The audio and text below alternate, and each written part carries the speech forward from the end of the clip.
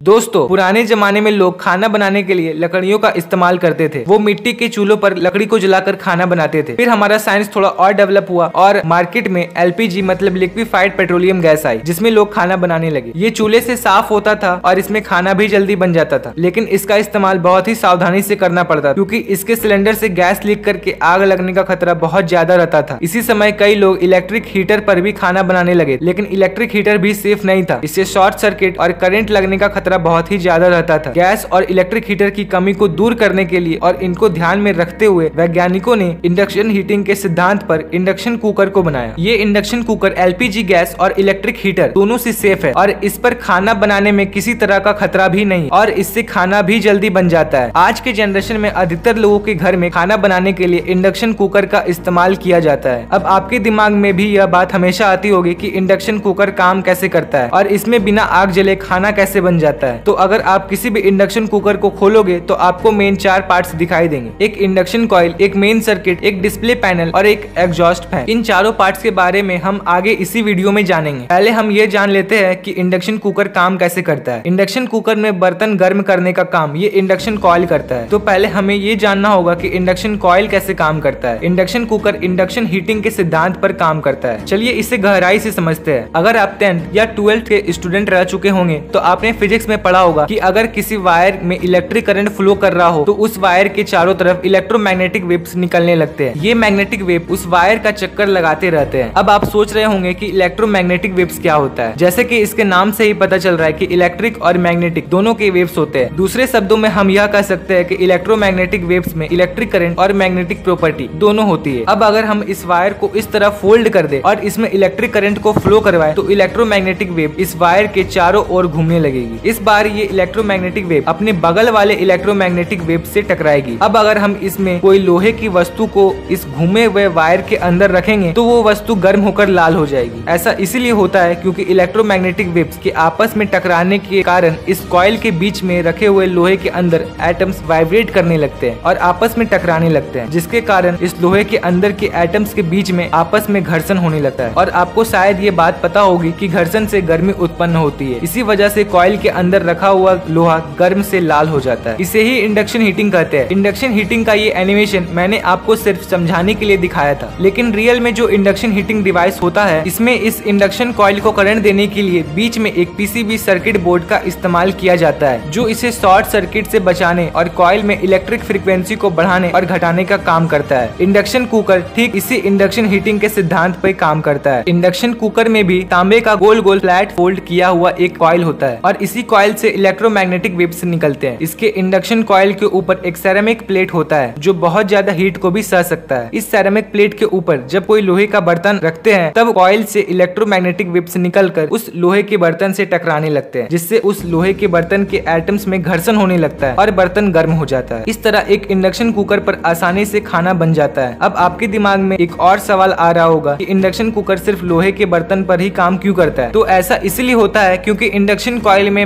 Magnetic waves निकलते हैं। अब आप ये बात तो जानते ही होंगे कि मैग्नेट यानी कि चुंबक, लोहे को अपनी तरफ़ खींचता है। इलेक्ट्रोमैग्नेटिक वेव्स में भी मैग्नेटिक वेव्स होते हैं। ये वेव्स लोहे के एटम को अपनी तरफ़ अट्रैक्ट करके उसमें इलेक्ट्रोमैग्नेटिक वेव्स को छोड़ते रहते हैं, जिससे लोहे का बर्तन गर्म हो जाता है। अब जानते हैं इंडक्शन कुकर के अंदर बचे पार्ट्स के बारे में। इंडक्शन कुकर के अंदर इस एग्जॉस्ट फ़ैन का काम इसके अंदर के गर्मी को बाहर निकालना इसमें लगे इस मेन बोर्ड का काम शॉर्ट सर्किट से बचाना और इंडक्शन कुकर में एक सही फ्रिक्वेंसी के करंट को पास करवाना है। इसमें लगे इस डिस्प्ले पैनल का काम इंडक्शन कुकर में फ्लो हो रहे करंट को बढ़ाना और घटाना है। मुझे उम्मीद है कि आप ये अच्छी तरह से समझ चुके होंगे कि एक इंडक्शन कुकर कैसे काम करता है। आपको ये वीडियो कैसा लगा? मुझे नीचे कमेंट करके बताओ। अच्छा लगा है तो लाइक ज़रूर करना।